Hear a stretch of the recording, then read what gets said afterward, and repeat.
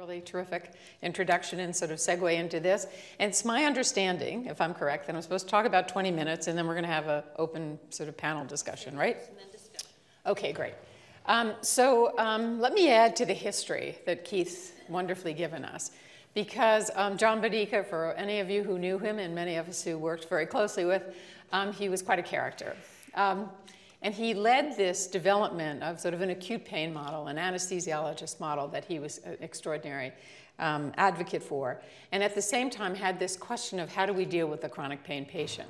And so created in Washington this extraordinary clinic that basically was taking patients who um, uh, had the sort of learned helpless behavior, helplessness behavior um, and putting them through an incredible six-week rigorous inpatient rehabilitation program um, and taking them off their opioids um, and um, teaching them behavioral approaches, um, giving them physical therapy, and then sending them back out. Uh, into the world. And the success rate at the clinic was that clearly patients came off opioids, um, but it was always hard to, for them to prove for sure that the patient's pain was necessarily any better. Um, and this was the critique, in a sense, of that model. At the same time, John Bonica in the mid to late 70s uh, was asked um, by the World Health Organization to come on and address the issue of cancer pain. And that's, as you know, that's the area that I've worked in, so, that, so my focus in history is on the cancer pain issue. And this was the era, if you remember the mid 70s, was um, by 75, we still didn't even know we had opiate receptors in our brain. I mean, you know, so it was the discovery of the opiate receptor that sort of came forth, then the discovery of endorphins. And so this made pain a lot more respectable because we all of a sudden had specific receptors in our brain to which the drugs that were exogenally being used were now binding to. So there was a rationale. And more importantly, we had um, endorphins that um, these particular compounds were made within our bodies to bind to these receptors. So it led to a, a different science, a science that John Bonica didn't have the advantage to. He knew about sodium channels and anesthetics, not about opiate receptors. So we moved into the opiate receptor world extraordinary respect for the idea that the brain had these receptors and that these exogenous drugs were like good for our brains because it must be a reason why we have them. So fast forward into the cancer arena was this sense that um, we were undertreating patients with pain. And it was also at the same time that there was this rise of extraordinary expertise, expertise in analgesic studies, in how to measure pain in drug trials, how to be able to do carefully controlled, randomized controlled trials, how to learn to deal with placebos treatment, and to be able to do and have a science of analgesic studies that could bring drugs to market that demonstrated their efficacy as pain. So there's a whole science of pain that emerged in that period of time that made the role of analgesic drugs in general very important very respected, and the rise of the whole movement. And the cancer patient became that particular uh, patient model. And I, I, bring that to the fore because I think that history um, was critically important because it was the, the first uh, science that pain had, sort of the gate theory of pain. Um, it was much more um, tied to uh, a clear neuroscience where there was a great deal of interest then in receptor physiology and pharmacology. And it was very tied to a drug uh, pharmaceutical market that now had these potential receptors of which they could target drugs and develop methodologies. So that's that history. Then came the growth and the emphasis of the hospice movement. So we had the British, you know, Cicely Saunders telling us that dying patients um, could be put into a um, unit. They could be given drugs like oral morphine and oral heroin, uh, that their pain was controlled, and that they died comfortably. And so the rise of the hospice movement then further sort of fed into this development of analgesic drugs. And so the target of so much of the analgesic market was on two populations. It was nonsteroidal anti-inflammatory drugs for the arthritis, because we had methodology of analgesic studies, and opioids for the cancer patient who was dying because we had this hospice model. And then we had a reimbursement in 1982 when the hospice benefit was passed. So now we had a, a system that was going to be paid for in which um, one could then begin to introduce different approaches. So that sort of, so that was this microcosm of the pain world, but it drove it because it was analgesic studies, it was good science, it was opiate receptors, et cetera. And, and so I think that that changed how we viewed opioids in the clinical setting. And then it was the experience with the cancer population from like the early 1980s through to 1997, where we could show um, the increasing amount of prescribing of opioids and no evidence of abuse. And it wasn't until 97 and 99 where we began to see the abuse issues. But there's paper after paper published of states increasing their availability of opioids. Wisconsin was one of the models, and no evidence of this diffusion into that market. But when the pharmaceutical companies started marketing to a broader market of individuals is when we began to see prescription drug abuse, and then it's taken off after that. And in no way do I want to trivialize prescription drug abuse. But there's more issues than that. So I start with this data because I think we have to, you know, deal with the reality of why are we in the situation that we're now and why I just want to spend a few minutes on what I think are some politics. So this is the data that the CDC continues to um, spend its time on. The CDC has never spent any time on measuring pain. Okay, this is not the, this is.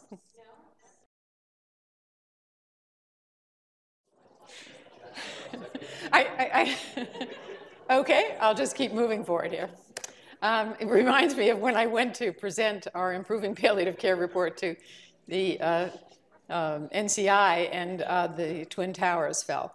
So, um, um, so the CDC has uh, published this data, and this is what the public is seeing. This is what the CDC is focused on. This is uh, this issue of overdose deaths. This is all that seems to be matters, um, and clearly overdose deaths have a priority in our public agenda, and they're very serious. The extraordinary impact that this plays on our society is profound. But we could make this so much better, quick and fast. We have a drug called naloxone. We can put naloxone out on the streets of every city in this country. We can put it in the pocket of everyone. It's an incredibly safe drug. And that anyone who gets sleeping on a drug could be given naloxone immediately with enough time to get to an emergency room. And then we could change the policies that when you got to that emergency room, you were not imprisoned, you not, the police didn't arrive, but doctors took care of you. And that those who brought you there were good Samaritans, and that drug, the whole issue is around the um, policing of, of, drug use could be changed. So we, could, we can stop this um, really pretty um, much. And there's evidence to suggest that when you make naloxone available in these kinds of settings, there's an opportunity. So there is a way to deal with this, but that means that you have to have a much more liberal view uh, about how you do this. Has everybody got this? Okay, good. Okay, so let's move from that. So, what are the impact of politics on clinical care? So, are the current challenges to the use of opioids properly motivated? These are the questions that Myra asked me. So, these I think will be the questions that we should be discussing. Uh, what are my experiences with how the politics of pain management impact those living with chronic pain and those who care for them? And I'm going to talk to you, give you a couple of examples of that. And I'm going to focus pretty much on the cancer pain population because that's the population I have the most experience with. And then this bigger question that we've had a little bit of a discussion about are we in the era of recriminalization of opioid use? And the answer is yes, yes, and yes. So, what are some of these kinds of examples? Um, so I think the other piece in this overdose aspect is remember there are 259 million opioid prescriptions being written and only 16,000 deaths. I mean, that's nothing uh, if we think they're even related, okay? And there's a stretch between the relationship to the number of prescriptions written and the number of overdoses and where those drugs come. So that, uh, and there are people that have those facts. So who's the population um, at risk of pain of policies that focus on drugs? It clearly is the chronic pain patient who has multiple co comorbidities. Because I think, as Keith was uh, emphasizing, um, these are patients with, who require a chronic care, um, chronic, a model of chronic care. Uh, they require multidiscipline uh, area of care.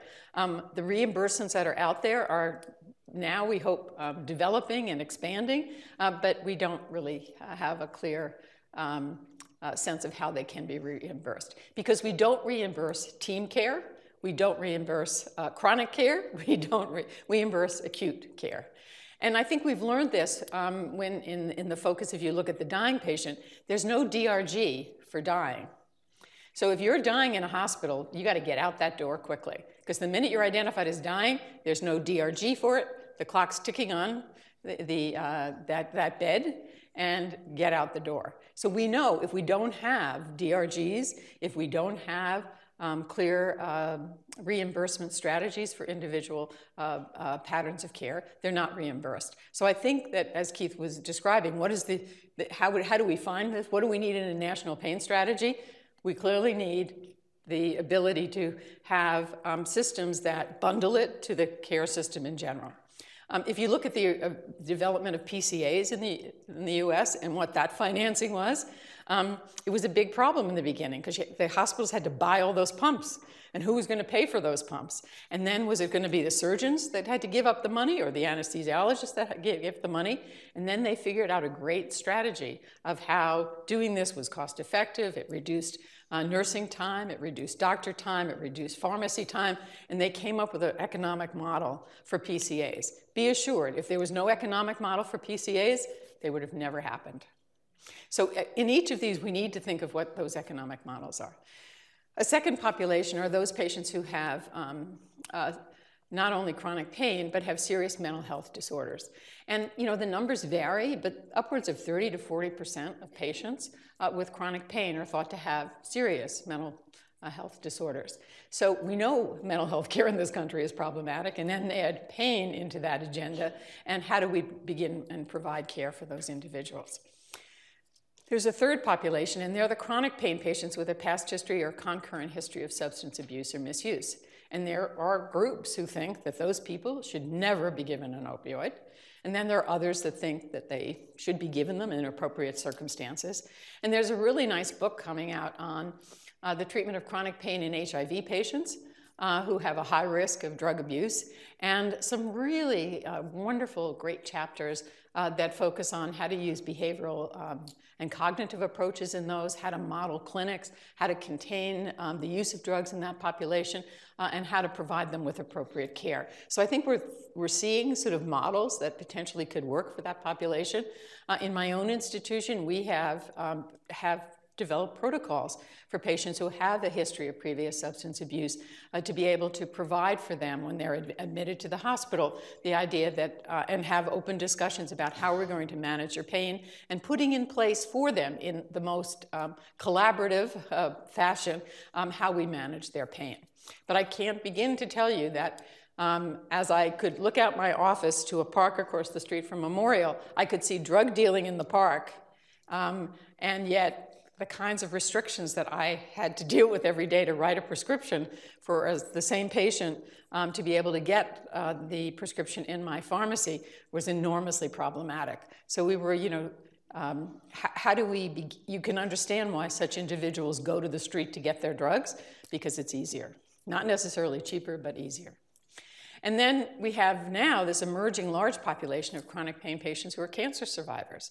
And the, you know, depending upon the numbers um, and who you look at, who you read, and the the um, adequacy of the studies, the number of cancer survivors who have chronic pain goes from 29% in one study up to 80% in another study. And everybody now saying at an international level that it looks like somewhere around 37, 38% of cancer survivors have chronic pain. So does the cancer label protect them in some way to be able to give access to drugs? Does it make them more respectable than the non cancer patient? Um, my view of all of this is that opiate receptors in our brain don't know you have cancer. Okay? So there's no science to this idea of cancer pain here and chronic non malignant pain here. The opiate receptors don't know that.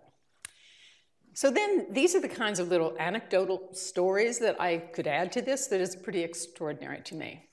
I recently heard a presentation by a group of individuals who care for patients with cystic fibrosis that are awaiting lung transplant. The one thing um, that these patients have is profound dyspnea, and a good treatment for that dyspnea is morphine.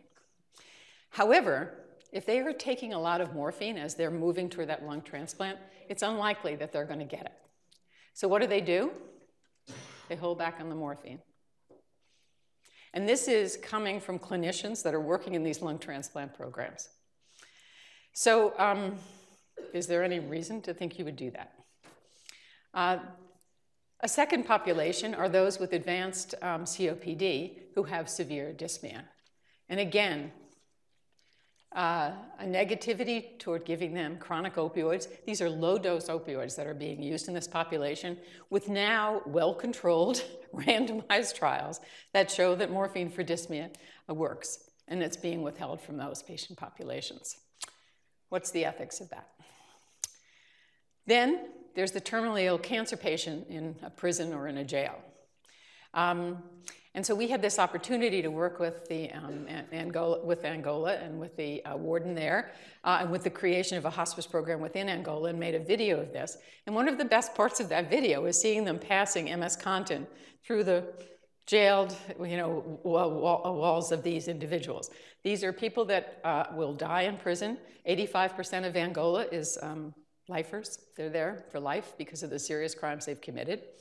Um, and um, how do we care for that population of individuals? And this is, you know, a that's Angola prison. But then we move to the jails that are currently housing large numbers of now elderly people with significant medical comorbidities and pain. And how and to what extent should we as a society care for them?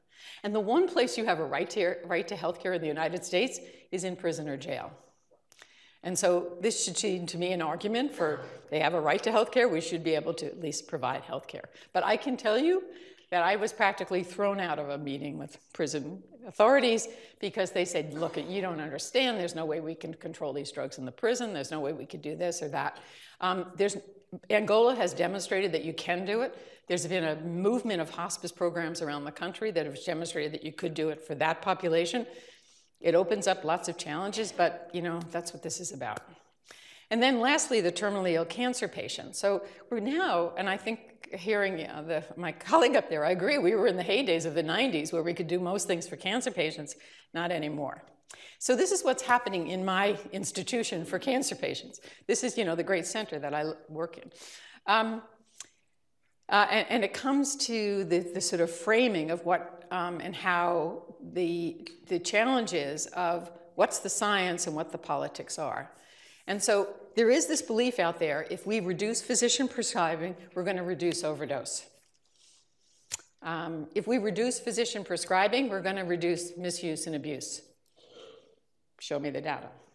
If we um, have prescription monitoring programs, we're going to reduce misuse.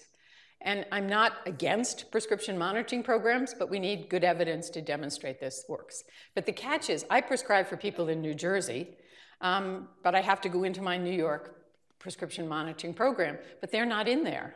So this immediately prescribing for a person in another state. I mean, if we're going to do prescription monitoring, we need a country prescription monitoring, a countrywide approach, not this statewide issue. And here it must be tough because you've got Kansas and Missouri unless you're sharing the data. So that's an issue. Okay. So dose limitations and guidelines reduce overdose. I don't think we have any data. And there's no science to these dose limitations. That's what's so extraordinary. Um, except to suggest that those people who take less drugs have less complications. I mean, we know this, okay? So any study would show this. So is there any evidence to really support this? And, um, and we have demonstrated in you know, really sophisticated pharmacologic studies where we've done pharmacology and we've done pharmacokinetics um, that, that every patient has such, there's such wide inter individual uh, variation to suggest that you know, setting a dose of 100 milligrams of morphine a day has any scientific reality except a political reality. And then this issue is will tamper resistant opioids reduce overdose misuse and abuse? As my drug abuse patients tell me, look at, we're smarter than you. I mean, they tell me that all the time. So they are smarter than this. They'll figure out how to do this, they'll figure out how to get the drug. So is this what we know? And then the problem is these are very costly drugs, so patients can't afford them. So how do we begin to deal with that issue? Then this whole issue of mandating CME programs to improve practice. We learned from California, doesn't seem to make much of a big aspect of it. And maybe we haven't, maybe we'll have a national pain strategy, but we don't have a public health approach to pain management. We have a public health approach to um, prescription drug abuse.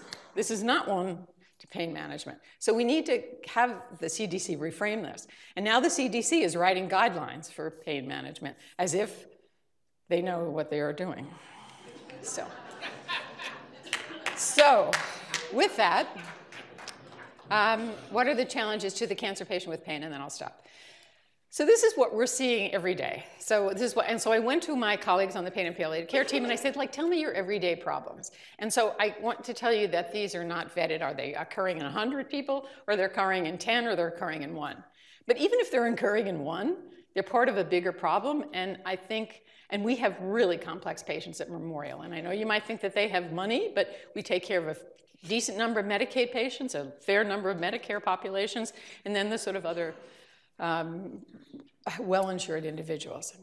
So patients referred to hospice get switched to less expensive drugs causing inadequate relief uh, or excessive side effects. So we get them in the hospital, we get their pain really under good control, and then they get sent to an inpatient hospice unit or they get sent home to a hospice program, and the hospice doesn't want to pay for levorphanol. It doesn't want to pay for hydromorphone.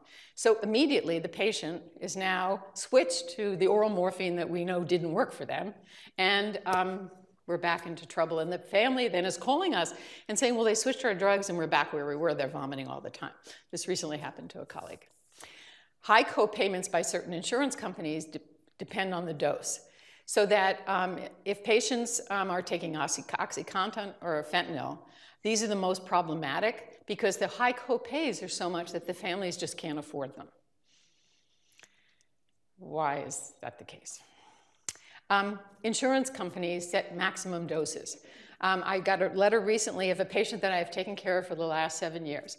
And this is a woman who takes a large dose of methadone on a regular basis that has been able to keep her pain well controlled from a very profound neuropathic pain from neurofibromatosis. So not a cancer patient, but considered a tumor patient because she's had neurofibromatosis.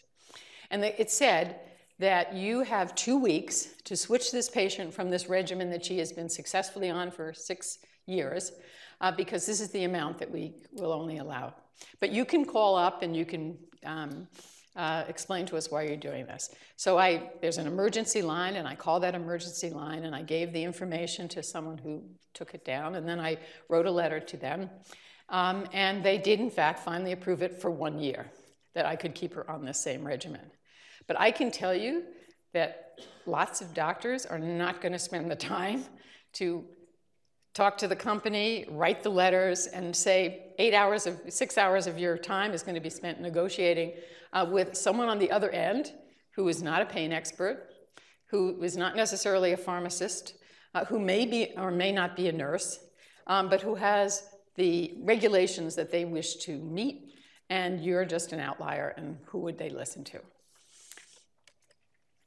Um, this issue of prior authorization. So um, we're now seeing in our Medicaid population um, that there's a requirement for prior authorization. It can take 72 hours. Um, if the appeal is denied. So what do you do for 72 hours if a patient can't get their drug? I mean, what is this about? Um, some require a prior authorization for dose change. So what that means is that a patient um, can't be uh, switched to a higher dose of drug without a prior authorization. So there's a time delay from the point that you think you should be doing this to then. Um, it's very hard to have a patient on any more than one opioid uh, because that means they have to have two concurrent prescriptions of which you have to have prior authorization for each, and you're sort of like back and forth. So it's put in an administrative load to a very busy population of um, palliative care physicians that are caring for these uh, patients and are seeing on any one day upwards in a clinic of maybe 100, 120 patients, of which maybe 30 or 40 are having these kinds of problems that have to be dealt with. And are they dealt with by the doctor? Are they dealt with by our nurse? And they dealt with by our secretaries? And how we begin to deal with them. And that every prescription we write in New York, again, we have to go to the prescription monitoring system and put the data in. So this is a time sink that's profound that um, needs to be paid for by someone. And then the next one is the restricted travel for patients. Uh, if there's only one pharmacy who will dispense a drug. And so this is happening probably in more um, rural kinds of areas uh, but quite profound in the sense that the patient has a limited amount of medicine. They're supposed to get their drug next Tuesday, but they want to go visit their daughter in another state, but they can't go because they have to stay home to get the prescription before they are able to be uh, able to um, travel. And although for each of these there are ways around it, okay, you can figure this out, you can put time into it, you can deal with these it's very, very onerous. And it's become so onerous that why would you want to prescribe an opioid for anyone? Why do you want to do this for this population? So this is what we're seeing as sort of a change in um, increasing um, um, aspects. So my last point, or last slide, is on this question that Myra posed of recriminalization. So this is who we're criminalizing. We're criminalizing the physicians who advocate for opioid use. Um, they used to be respected. Now it looks like they're in the hands of the drug company, okay? Um, and, you know, I don't take any, have, have not taken any money from drug companies for probably 15 years, uh, but, you know, everybody thinks like if I talk to a drug company person, I'm an advocate for them. Um, the physicians who participate in speakers bureaus for pharmaceutical companies, uh, this is again across the board for many, many different diseases, and yet we have very open, transparent ways for begin to do this. And how are we going to teach doctors to how to use these drugs if we don't let the pharmaceutical companies help us teach patients how to use these drugs effectively? Um, the physicians who adapt their practice to patient needs. So you're seeing a patient and they need a prescription and they're going to be going away and you're going to be going away, and so you predate the prescription. That's against the law. Okay? But, you know, we have to do this to just be practical because a patient can't spend five hours traveling back to New York City or for me to mail this prescription to them for them to be able to have this prescription in hand. I mean, we need to make this practical. Now, if you're over 65, we can write drugs for three months, but oftentimes the insurance companies won't pay for the drug for three months, so that's another problem. Then the physicians who practice pain management, they've been maligned across the board. Um, and then the pharmaceutical companies to develop new products, again maligned. If it's an opioid, just forget it. It's not, you know, there's like immediately incredible negativity. And I think that I was hearing from Bob Twillman now that Congress wants to pass a law, or some, some people have put a bill before Congress, uh, that Congress should decide, uh, not the FDA, uh, whether pharmaceutical companies' new products should be, in fact, approved. So um, this is pretty extraordinary. So this is, and this is all around opioids, um, around the, the drug issues. And at the same time, I'm really optimistic that we could make some changes. Um, and I'm optimistic because there is a national pain strategy, and we have to bring all of these issues to the fore, um, and we have to have people understand what the, what the concern is. But if we don't have any science, if we don't have any new drugs, um, if we don't have centers of excellence, we're not going anywhere. So the thing the National Pain Strategy has to deliver is centers of excellence. You know, we need science that can argue with the politics of this. So the last is a, a, the anecdotal stories of science. So in the 70s, when um, the, uh, uh, a major advocacy group in Washington wanted to legalize heroin uh, for the uh, management of cancer pain, those of us at Memorial said, you know, well, like, what's the science question here? You know, is it better? So we, we answered the question scientifically while the politics were playing out there. And the science question was, did heroin act faster? Yes. Um, was heroin better than morphine? Don't know. But of course, the British said so much better. Every anecdote said it was so much better. So we did a carefully controlled randomized trial in cancer patients. Um, and the drug that we used, the heroin, we got from the government that they had you know, um, uh, been able to uh, secure uh, through um, being able to buy supplies of heroin on the street or uh, confiscate it from the street. And they cleaned up the morphine, and we called it diacetyl morphine because that's what heroin is. And we gave it to patients. And basically, patients couldn't tell morphine from heroin. And basically, we showed that heroin was a much more expensive way of delivering morphine to patients. Um, and so the, the science answered the question. And I think for each of these, we could answer these questions. We can answer the dose issue with the science issue. We can answer the question of whether um, tamper proofs are better or not. Um, we can answer the question of what the cost is by beginning to look at the realm of cost of, for these patient populations. But we have no funding. If one, less than 1% of the budget of NIH is going to be focused on uh, pain, um, and health services research monies are like 0.5%, and the CDC wastes its money on prescription drug abuse only, um, we, we have uh, enormous difficulties. So I'll stop at that point. Those are the politics.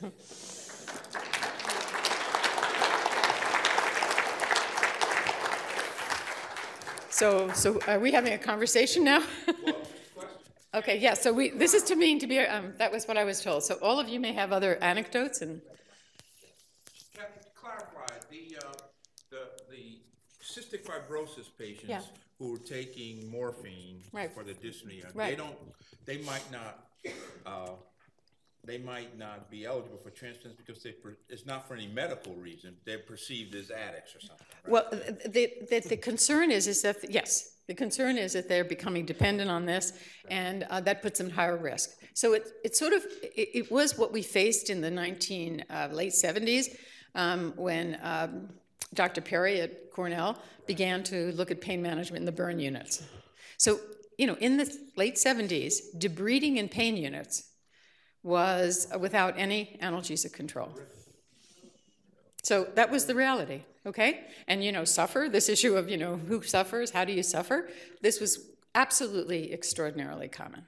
And one of our colleagues that, that uh, Rich and I worked with, um, who was a psychiatrist, was compelled uh, to begin to look at this phenomenon within the burn units. And, and for the individuals that were doing the debriding, it was as awful as it was for the patients who were being debrided because there was so much um, uh, degree of pain that they were witnessing. This is an acute, severe pain. Um, that could be managed in a variety of different approaches. And so they moved on to develop management approaches. Where burn pain treatment goes now is a little bit clearer. And- and- Uh, Before you go, um, would you please introduce yourself? There are lots of Oh, people sorry. that know you and lots who don't. And others, as if you ask questions or make comments, would you please stand and also introduce yourself just so that we have some better context for the session? So I'm Richard Payne. I'm a physician, and I'm the uh, John B. Francis Chair at the Center for Practical Bioethics, and also a faculty member at Duke University in uh, medicine and divinity, and uh, former student of Kathy's.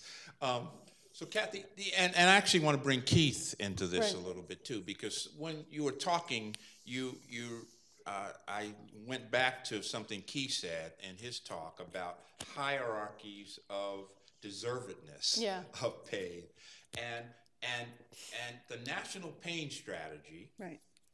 uh, has report has introduced this new term called high impact chronic pain without a lot of science Mm-hmm. Right. that that that uh, suggests that there's some real face validity to this concept. Mm-hmm. So could you speak to that that this notion of you know some people there's pain but some people just deserve Mm-hmm. uh, m- better pain treatment than others. Right. Well, I, I must say that I've sort of used that argument. Um, I think when we were at an international level, uh, since I, I've worked a lot internationally, um, at an international level, we made the decision that we would have the dying cancer patient as the Trojan horse for changing pain policy. Who was going to argue about that? They were dying, they had significant pain, we'd prove that they didn't have pain. We can measure pain, uh, we can document pain, we can objectify pain, um, we can look at correlates to pain. We know how to do that, and we had done that for the cancer population. So we used that as the Trojan horse because we thought if we had the opportunity to develop a field of caring for that population, and I think hospice is probably the best demonstrated that model here in this in the U.S. That we could demonstrate and teach physicians how to use these drugs, um, how to learn what drugs were more appropriate, how to learn um, the pharmacology, how to learn the pharmacokinetics, um, how to learn the regulations, and that we'd have that model that then could be expanded out um, into uh, a larger population.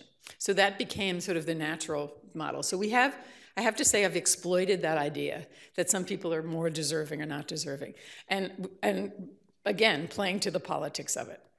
But um, if we had started with a chronic, non malignant pain patient um, who had ill defined pain, they no one would be even interested in this uh, or care about it. So I think we've exploited that. So how do you then come to the next point that you're making of, of this idea of high impact pain? I think I think the worry that I have, um, and maybe it's a good idea to think about high impact pain, or to think it because they don't want to call it serious because every pain is serious. So I think the idea of calling it high impact pain, I think they'll they'll run into the science issue that you know every smart pain methodologist out there will say, well, how did you decide who's got high impact pain? And what methods did you use? And how did you do that? And I'm afraid that they'll lose what they're trying to get at because they won't have a scientific basis. And it's a little bit like what has happened in England uh, when they created this Liverpool pathway for the dying, okay? And because they didn't do good studies about it in advance and they moved it into a clinical arena, it then fell apart. So I, I think that's a cautionary tale that you, when you start doing this, you got to have some science behind it. Keith, did you want to comment on your on your comment about hierarchies of pain dependence? Um, yeah, I think. Is this on? Yeah. The, the, the, to me the Trojan horse strategy is it it works and also it doesn't work Absolutely. in the sense that it one suggests that pain should be regarded as legitimate, and who could argue with the dying patient in cancer? But then what it says is, well, you have to be Legitimate. a dying patient in cancer to warrant this, and Right. the further away you are from That. dying, the less deserved. And then, of course, it gets inflected with all other kinds of judgments about deservedness um, in the era of welfare and et cetera. So I think it is a um, it's a successful strategy, and the trick is to figure out a way to continue it, but but extend the sense of deservedness um, to others. And it's I, I, I did have a question, if I could sort of pivot from that, which is um, Dr. Foley, I was wondering whether you could say a little bit more about who in particular is driving the trend towards criminal the the, The re- criminalization? well yeah exactly and, and particularly sort of the new rules regarding um, reducing physician prescribing in order to limit overdose is it i mean i can imagine a multiplicity of organizations um, whether it's that are that are pushing those kinds of regulations. But it, it, I'm just interested in where you see the where you see that action being generated. I think there are multiple sources, and I think Bob Twillman ought to come in on this, and others might want to comment on, on this issue. I think we're, um, I think we're, we're, we're seeing it uh, from a group that we didn't expect to see it from, and that is from the addiction specialists. So uh, the addiction specialists have decided that overprescription is the problem, and that um, doctors are the overprescribers, and we need to target doctors to stop the overprescribing. And um, and I don't I don't want to argue that we shouldn't target doctors, uh, but it's much more complicated than that. The second piece is that it's decided that it's the primary care doctors that are really the bad guys, um, and they don't know anything, and now they're prescribing all these drugs out there. So that's the second group. Then in New York State, um, our this is when um, uh, when a um, an advocacy group um, uh, led by um, um, an individual who has been a great advocate for controlling prescribing, uh, went to our mayor and went to our various um, uh, forces within the city and said that the way we had to stop the prescribing of opioids in our emergency rooms was the following. Um, that acute pain only lasts three days, that patients who come to emergency rooms in New York City um, should only be given, if they, if they are given an opioid, it should be only a three day supply. Uh, because acute pain is gone in three days. Didn't we all know that? Okay, there's no science to that. And they wrote a series of guidelines for emergency rooms of how they should practice in the city, and that this should be, which would guide their practice. Now let's be real. Who goes to our emergency rooms with acute pain? Our Medicaid population. How are they going to get an appointment to see a doctor to get another prescription within three days? Not going to happen. So you're immediately targeting a population of individuals who you think are at risk for abuse um, in this way. Second of all, there are some emergency rooms that basically will not in any way fill a prescription for a patient for an opioid if they come in requesting it if they've been previously on one. So, how do we monitor those emergency rooms for the sort of the ethics of that care?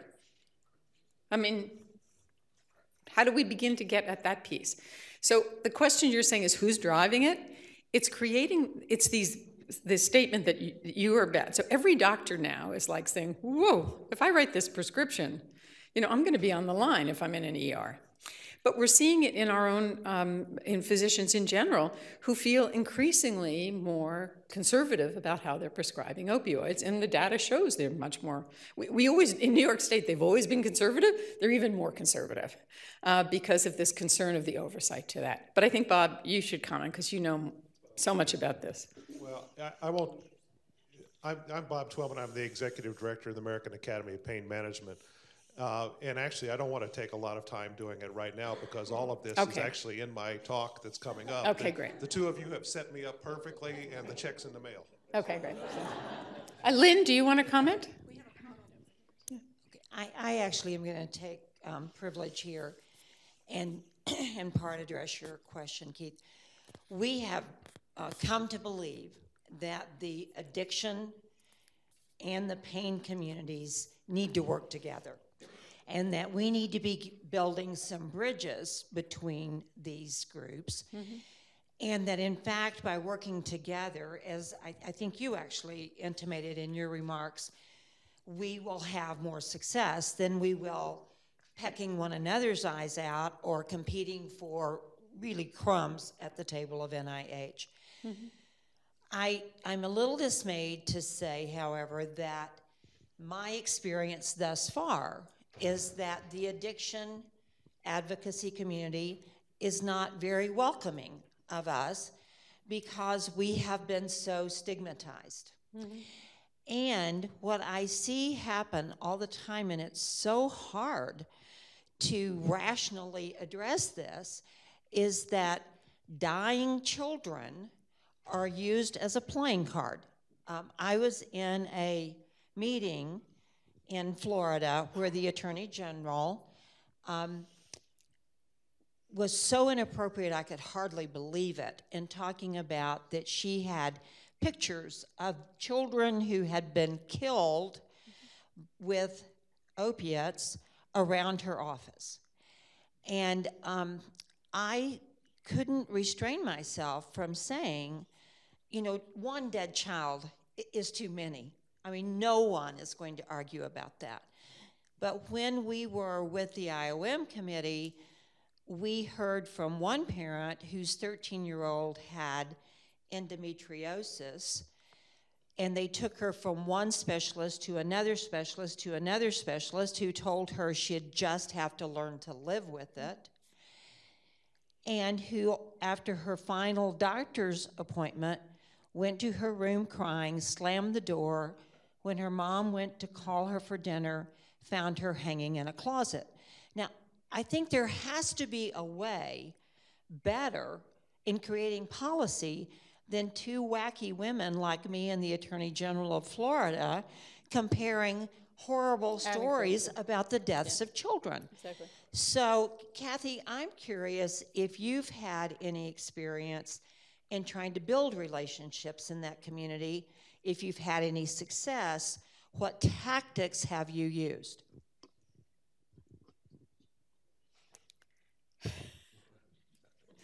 Um, so I work closely with um, the uh, the group that have focused very much on harm reduction approaches to um, uh, drugs, and um, I'm enormously impressed by their degree of advocacy about harm reduction.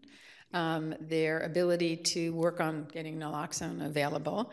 And so I think the harm reduction advocates who see drug policy in a much more liberal fashion have, are much more open to this perspective um, of thinking about how do you create these balances. So I think there's a harm reduction community, and we've been working at them with them at a, a major international level.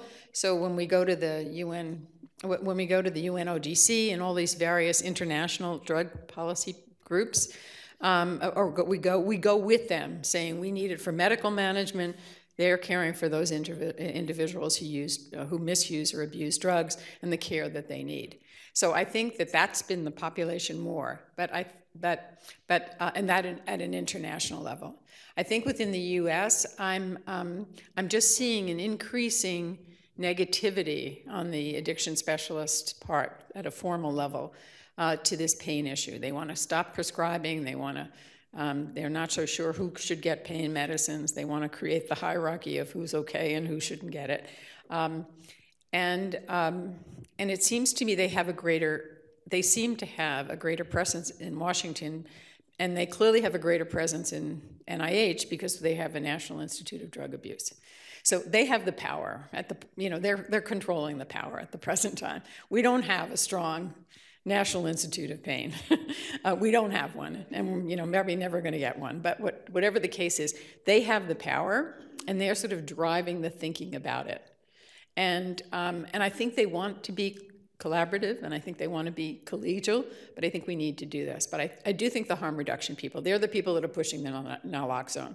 They're the people that are the advocates for that. They're a, a different population. They're the people that are pushing medical marijuana. So you know, it's like you have to decide who you, want to be with at the time you want to be with on what topics do you want to be with but um, and i wanted to come back to keith's point of being optimistic because i am optimistic about this issue of the liberalization of drug wars and um, in 2016 there is going to be what's a un general assembly uh, a special session called UNGASS is basically it. It's going to be held in Vienna, not in New York, which is problematic, but it's on drug policy. And so we've been all sort of tooling up to argue for the availability of uh, analgesic drugs for patients, for opioids and controlled substances for patients with pain in this reevaluation of drug policy internationally. And so it's a place where the harm reduction people and the, you know are coming together uh, with uh, uh the um, pain people to say this is important drugs. Um, this is how we should do this. And as we move into individual countries, we any legislation that we develop in an individual country has to pay attention to the availability of drugs for medical use, both for the treatment of addiction and for the management of pain. And that we don't allow the governments to pass legislation that says it's only for the cancer population. It's the pain population. So we have very clear ways of creating public policy around on drugs that respect both the importance of both. But I think I haven't worked enough with, except, I mean, there's, you know, the, there have been various groups in this country that have been pushing, um, that, that are led by sort of addiction experts who are against the pain community, basically. Bob, did you want to? Yeah, you know, Myra, your, your remarks reminded me of something I once heard from a policymaker, and, and he said that the plural of anecdote is policy. And yes. unfortunately, that's often true, and, and it sort of gets to one of the things that I find very interesting with the work that I do. As a, as a psychologist, when I sit in a legislature or a policy making body and I watch what goes on, I'm alternately fascinated and frightened by what I see. The trouble is that so often they're making decisions on the basis of emotion right. rather than on the basis of logic. In science. uh, exactly. and science. Exactly. And you can see this when you go to FDA hearings and the, the, parents of children who've died get up and show pictures of their kids and they say, you know, this is my daughter. She was a high school student. She went to a party, took somebody's long acting Oxycontin right. and, died. and died of an overdose, and therefore hydrocodone should be rescheduled. It, it's just a complete disconnect. But I think maybe one of the ways that we have failed is by failing to make people with pain as sympathetic as those exactly. people. Exactly. Mm-hmm. It's it's not that if we keep pounding them with the facts that it's going to change things, maybe we have to sort of fight fire with fire mm-hmm. and get into the emotional aspects of this as well. Mm-hmm. Where? Yes. You got Mike. Is on? Just speak up. Yeah. Yeah, go ahead. I'm William Brooks, osteopathic physician. Can you hear him? No. Here, take mine.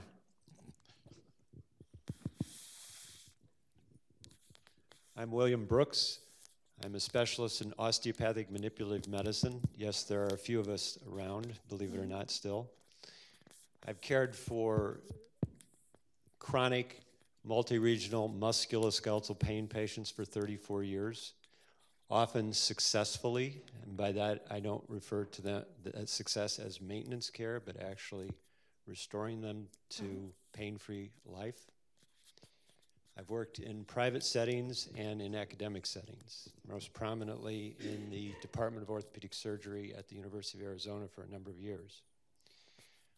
I am struck by the first two uh, presentations that have to do with attention uh, mostly about drugs. And I've devoted my career to helping people without drugs, needles, mm-hmm. or knives. At the same time, I recognize there's a time for and place for all of that, but the big tension is about drugs. And I was very gratified, Dr. Foley, for you to mention a number of times that frankly it's about the science. What we need are biomarkers right. for pain. And what we need are reliable and valid, valid ways to evaluate the musculoskeletal system so that people with back pain don't fall into the black hole of there's nothing organically wrong with you, therefore you don't deserve care. That particular niche is what I've devoted my career to. Dr. Wailoo, my suggestion to you is that you need to do a book on the microcosm that hasn't been spoken about here. You've done a great job of talking about this in broad cultural mm-hmm. right wing politics versus left wing politics perspectives. But what you need to focus on are the academic medical centers, yeah, right. which, frankly, I'm going to use a four letter word here, are cesspools of politics.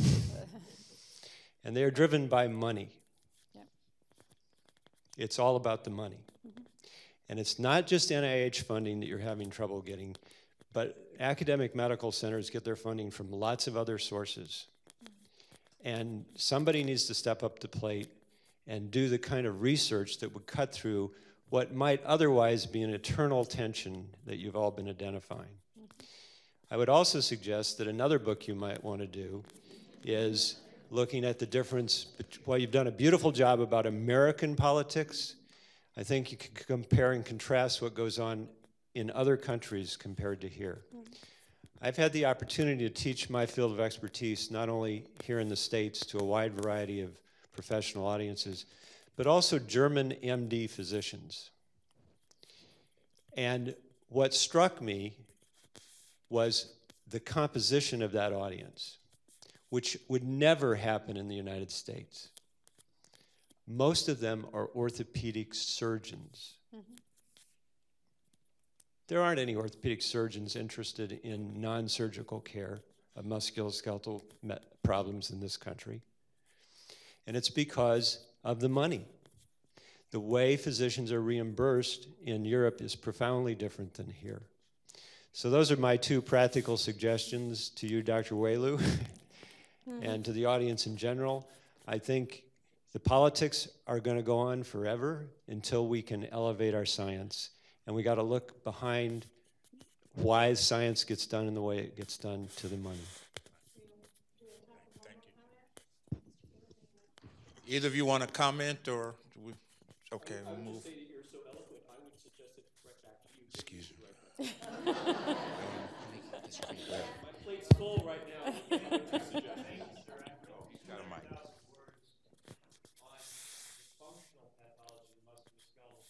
Right. Which I hope the public will Oh, good. Thanks.